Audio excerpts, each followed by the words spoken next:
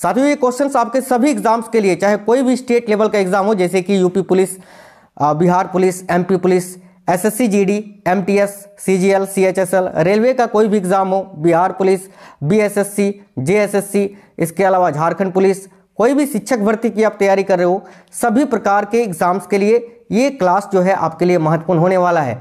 तो अंत तक आपको देख लेना है बहुत ही इंपॉर्टेंट क्वेश्चंस मैंने ऐड किया है। तो चलिए बिना देरी किए शुरू करते हैं। आप सभी साथियों क्लास को एक लाइक और अपने दोस्तों के साथ शेयर कर देना।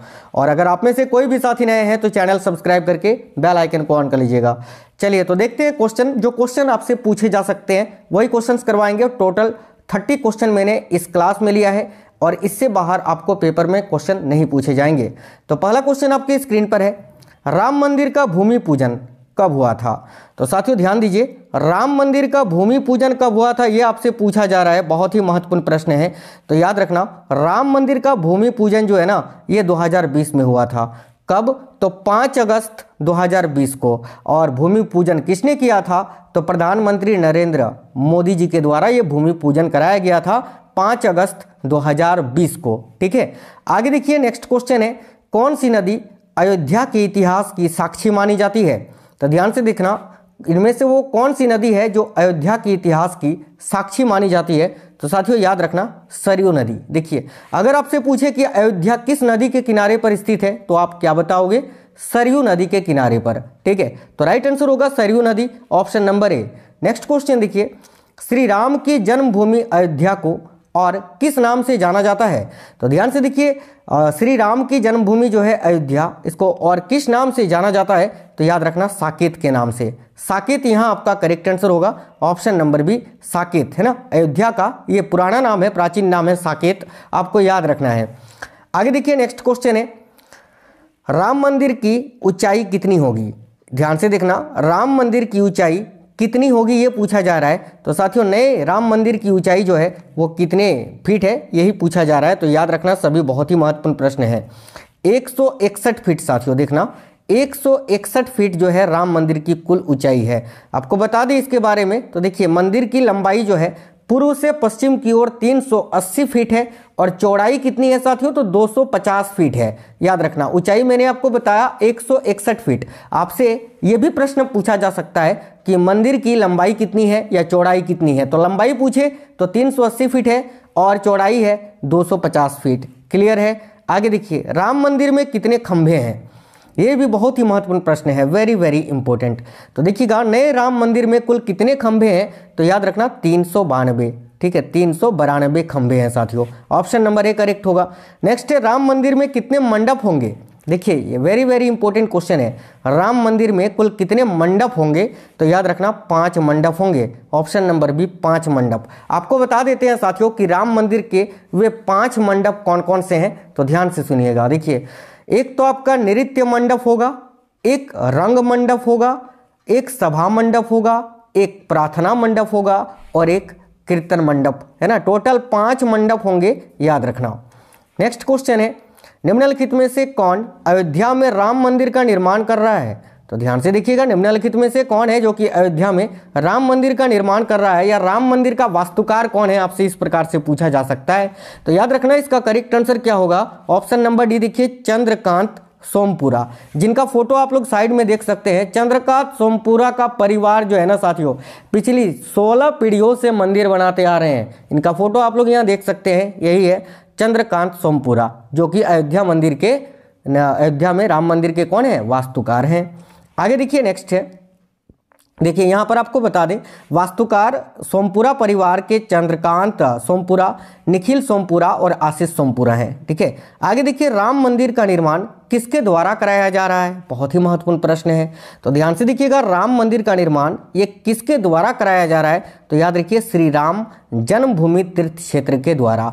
यहीं पर अगर आपसे पूछे कि राम मंदिर का निर्माण कौन सी कंपनी कर रही है, कौन सी कंपनी कर रही है या कौन सी कंपनी के द्वारा कराया जा रहा है तो लार्सन एंड टूब्रो के द्वारा याद रखना, ठीक है?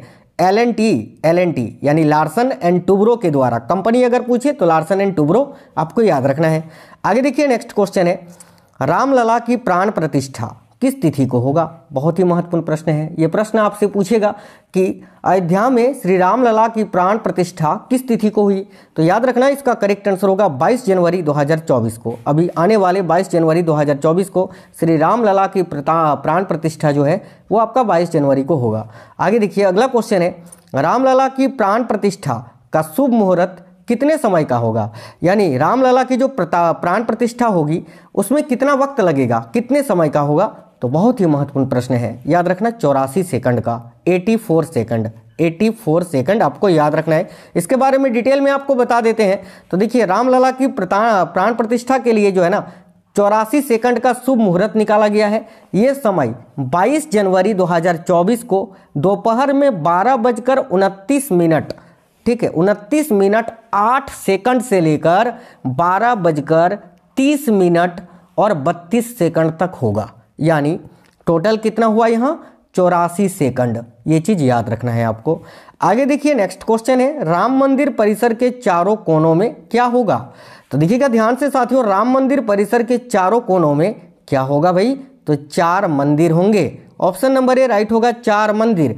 और वो चार मंदिर कौन कौन से होंगे? तो देखो राम मंदिर के चारों कोनों पर चार मंदिर होंगे, जिनमें सूर्यदेव, देवी भगवती, गणेश भगवान और भगवान शिव को समर्पित होंगे। उत्तरी भुजा में माँ अन्नापूर्णा का मंदिर होगा, जबकि दक्षिणी भुजा में हनुमान जी का मंदिर होगा। यह भी याद रखना। आगे देखिए, अयोध्या की विवादित भूमि से कौन सी ऐतिहासिक घटना जुड़ी है? तो अयोध्या की विवादित भूमि से कौन सी ऐतिहासिक घटना जुड़ी है? तो देखना करेक्ट आएगा बाबरी मस्जिद विध्वंस। ऑप्शन नंबर सी करेक्ट होगा, बाबरी मस्जिद विध्वंस याद रखिए। आगे देखिए नेक्स्ट क्वेश्चन है। अयोध्या राम मंदिर का भूमि पूजन एवं शिलान्यास कब किया गया? तो ये मैंने आपको बताया साथियों कि 5 अगस्त 2020 को किया गया प्रधानमंत्री नरेंद्र मोदी जी के द्वारा। आगे देखिए, अयोध्या विवाद फैसला। ठीक है, अयोध्या विवाद फैसला बाद राम मंदिर शिलान्यास को कुल कितने दिन लगे? तो याद रखना, अयोध्या विवाद फैसला बाद राम मंदिर शिलान्यास को कुल कितने दिन लगे थे? तो देखो, करेक्ट आएगा तीस साल, आठ महीने और सत्ताईस दिन। ऑप्शन नंबर ए करेक्ट हो जाएगा। आगे देखिए, अयोध्या किस राज्य में स्थित है? सिंपल क्वेश्चन है। तो भाई, अयोध्या जो है ना, ये उत्तर प्रदेश राज्य में स्थित है। Option number C, Uttar Pradesh, correct answer होगा। चलिए आगे देखिए रामलला की, देखिए, रामलला की जो नई मूर्ति है, उसकी ऊंचाई कितनी है? तो रामलला की जो नई मूर्ति है ना साथियों, उसकी ऊंचाई पूछा जा रहा है कितना है? तो याद रखना इक्यावन इंच। देखिए राइट आंसर होगा ऑप्शन नंबर भी इक्यावन इंच। आइए इसके बारे में आपको बता देते हैं। तो देखिए, ये जो मूर्ति है, जयपुर के एक मूर्तिकार द्वारा तैयार की गई, रामलला की, इक्यावन इंच ऊँची मूर्ति उत्तर प्रदेश के अयोध्या पहुँच गई है। राम मंदिर का निर्माण काफ़ी जोरों शोरों से हो रहा है। ऐसे में लोग राम लला की मूर्ति देखने के लिए भी काफ़ी ज़्यादा उत्सुक हैं, जो कि 22 22 जनवरी को ही भव्य दर्शन होंगे रामलला की। आगे देखिएगा, ध्यान से अगला क्वेश्चन है। अयोध्या में 22 जनवरी 2024 को जलाए जाने वाली अनोखी अगरबत्ती जो होगी, वो कितने फीट लंबी होगी? ये भी क्वेश्चन बहुत ही इंपॉर्टेंट है। तो देखिए, अयोध्या में 22 जनवरी 2022 को जलाई जाने वाली जो अनोखी अगरबत्ती होगी, वो कितनी फीट लंबी होगी? तो याद रखना करेक्ट आएगा 108 फीट। ये अनोखी अगरबत्ती के बारे में कुछ जानकारी आपको दे देते हैं। तो देखिए, इस अगरबत्ती को बनाने में तीन से चार महीने का वक्त लगा है और यह अगरबत्ती 45 दिनों तक प्रज्वलित होगी। साथ ही 15 से 20 किलोमीटर तक की एरिया में इसकी सुगंध जाएगी। यानी देखिए, ये अयोध्या के मंदिर में जलेगा और 15 से 20 किलोमीटर तक महकेगा और 45 दिनों तक ये जो है ना, जलता रहेगा। याद रखना। और साथियों, ये ये जो अगरबत्ती है, इसको गोबर, गाय के, शुद्ध गाय के गोबर और शुद्ध घी से बनाया गया है। और एक चीज़ याद रखना, ये जो अगरबत्ती है ना, इसका वज़न कितना है? तो कुल 3500 केजी का है, यानी 3500 साढ़े तीन हज़ार के का ये वज़न है इस अगरबत्ती का। और इसका निर्माण जो है, ये गुजरात में किया गया है, ये भी आपको याद रखना है। आगे देखिए नेक्स्ट है, बाबर किस वंश का शासक था? देखिए, बाबर से ही जुड़ा है ना, बाबरी मस्जिद। तो बाबर किस वंश का शासक था? सिंपल सा क्वेश्चन है। इसका आंसर मैं नहीं बताऊँगा, आप लोग कमेंट बॉक्स में कमेंट करके बता दीजिए कि बाबर किस वंश का था। लोधी, मुगल, खुर्द या खिलजी। चलिए आगे देखते हैं नेक्स्ट क्वेश्चन है। देखिए, बाबरी मस्जिद तोड़ी गई थी उस उस समय उत्तर प्रदेश के मुख्यमंत्री कौन थे? तो ध्यान से देखिएगा, बाबरी मस्जिद तोड़ी गई थी, तब जो है उत्तर प्रदेश के मुख्यमंत्री कौन थे? तो कल्याण सिंह। याद रखिएगा ऑप्शन नंबर सी करेक्ट होगा, कल्याण सिंह। अयोध्या राम मंदिर विवाद की सुनवाई कितने दिनों तक चली थी? ध्यान से देखना, बहुत ही अच्छा क्वेश्चन है। तो भाई, अयोध्या राम मंदिर विवाद की जो सुनवाई है, वो कितने दिनों तक चली थी? तो याद रखिएगा 40 दिनों तक, साथियों। Option number B right answer होगा 40 दिनों तक। साथियों, अगर आप लोगों ने क्लास को लाइक नहीं किया है तो प्लीज़ सभी लोग लाइक और अपने सभी दोस्तों तक ज़रूर शेयर करना। सभी को ये जानकारी आप लोग पहुंचाना। और साथियों, आप लोग देखो, दूसरों का भला करोगे तो आपका भी भला होगा। तो प्लीज़ आप लोग जो है, सभी इस क्लास को शेयर करना और अपने सभी दोस्तों तक पहुँचा देना। ठीक है? क्योंकि जो सबके साथ भला करता है, उसका कभी भी जो है बुरा नहीं होता है। देखिए नेक्स्ट क्वेश्चन ये रहा आपकी स्क्रीन पर। अगला क्वेश्चन है, अयोध्या विवाद का फैसला सुनाने में शामिल। जजों में न्यायाधीश रंजन गोगोई के अलावा चार जज और कौन कौन थे? तो वह ध्यान से देखिएगा, अयोध्या विवाद का जो फैसला है, कुल मिलाकर पाँच जजों ने सुनाया था, ठीक है? तो इसमें तो एक जज आपके रंजन गोगोई जी थे और कौन कौन से चार अन्य जज थे। तो देखिए उपयुक्त सभी, एक तो न्यायाधीश डी वाई चंद्रचूड़ थे, ठीक है? एक न्यायाधीश शरद अरविंद बोबड़े थे, एक न्यायाधीश अशोक भूषण थे और एक न्यायाधीश अब्दुल अब्दुल नजीर थे, याद रखना, ठीक है? आगे देखिए नेक्स्ट है, बाबरी मस्जिद कब बनाई गई थी? तो भाई बाबरी मस्जिद का निर्माण कब किया गया था? मीर बकी के द्वारा। देखिए, बाबरी मस्जिद का निर्माण जो है, मीर बकी ने किया था। और कब तो साथियों? 1528 में। ऑप्शन नंबर से याद रखना 1528 आगे देखिए, अयोध्या विवाद में सुप्रीम कोर्ट ने अपना अंतिम फैसला कब कब सुनाया था? तो अयोध्या विवाद में सुप्रीम कोर्ट ने अपना अंतिम फैसला जो है 9 नवंबर 2019 को सुनाया था। ऑप्शन नंबर ए करेक्ट होगा। आगे देखिए, हाल ही में किस स्थान पर चार लाख दिए जलाकर गिनीज बुक में नाम दर्ज कराया है। तो राइट आएगा अयोध्या में। याद रखिए अयोध्या। आगे देखिए, उत्तर प्रदेश के वर्तमान में मुख्यमंत्री कौन है? तो देखिए, उत्तर प्रदेश राज्य के वर्तमान में मुख्यमंत्री हैं Yogi Adityanath ji. Option number B correct होगा साथियों। आगे देखिए, उत्तर प्रदेश के राज्यपाल कौन है अभी वर्तमान में?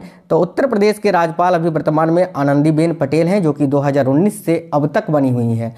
नेक्स्ट है सुप्रीम कोर्ट ने, देखिए क्वेश्चन बहुत ही अच्छा है, सुप्रीम कोर्ट ने संविधान के किस अनुच्छेद यानी आर्टिकल के तहत अयोध्या की विवादित दो दशमलव सतहत्तर एकड़ ज़मीन पर मंदिर के लिए केंद्र सरकार को ट्रस्ट बनाने एवं मुस्लिमों को पाँच एकड़ भूमि मस्जिद निर्माण हेतु आवंटित करने के आदेश दिए।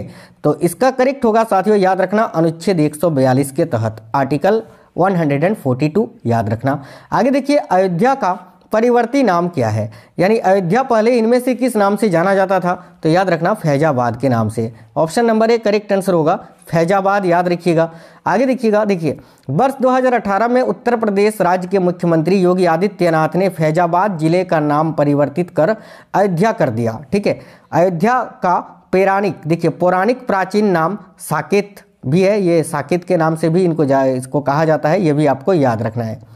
आगे देखिए, विवादित भूमि पर निर्मित बाबरी मस्जिद का ढांचा कब तोड़ा गया? तो भाई, विवादित भूमि पर निर्मित ये जो बाबरी मस्जिद है, इसका ढांचा जो है, ये कब तोड़ा गया था? तो देखना ध्यान से करेक्ट आंसर आएगा 6 दिसंबर उन्नीस सौ बानबे में। Option number A correct answer होगा। अंतिम क्वेश्चन है आज की इस क्लास का। वर्ष उन्नीस सौ बानबे में बाबरी मस्जिद तोड़ी गई। उस समय भारत के प्रधानमंत्री कौन थे? तो याद रखिएगा उस समय भारत के प्रधानमंत्री पीवी नरसिम्हा राव थे। और मैंने बताया कि जिस वक्त, यानी उन्नीस सौ बानबे में जब बाबरी मस्जिद को तोड़ा गया था, उस समय उत्तर प्रदेश के मुख्यमंत्री कौन थे? तो याद रखिएगा, कल्याण सिंह। ठीक है, कल्याण सिंह। तो साथियों, ये बहुत ही महत्वपूर्ण प्रश्न थे। अयोध्या के राम मंदिर से संबंधित तो आपको प्रश्न कैसे लगे हैं क्वेश्चंस कैसे लगे हैं कमेंट बॉक्स में बताना। और अगर पसंद आया है तो प्लीज़ आप लोग कम से कम जो है ना, इस वीडियो को अपने तीन साथियों के साथ ज़रूर शेयर करना, अपने तीन दोस्तों को ज़रूर शेयर करना। क्योंकि साथियों, आप लोग शेयर करोगे तो उनके पास भी ये जानकारी पहुँचेगी। और आप लोग भला करोगे, दूसरों का तो आपके साथ भी कभी भला खराब बुरा नहीं होगा, भला ही होगा। तो साथियों, काफ़ी मेहनत के साथ आपके लिए क्लासेस लेकर आते हैं तो उनको लाइक शेयर करा करिए। चैनल के अंदर बहुत ही इंपॉर्टेंट क्लासेस चल रहे हैं अभी यूपी पुलिस एसएससी जीडी के लिए। तो आप लोग डेली देखा करिए। क्लास को एक लाइक और शेयर ज़रूर कर देना। कमेंट बॉक्स में बताना आपको क्लास कैसा लगा है। चलिए तो साथियों, मिलते हैं आप सभी से नेक्स्ट वीडियो में। तब तक के लिए सभी को जय श्री राम।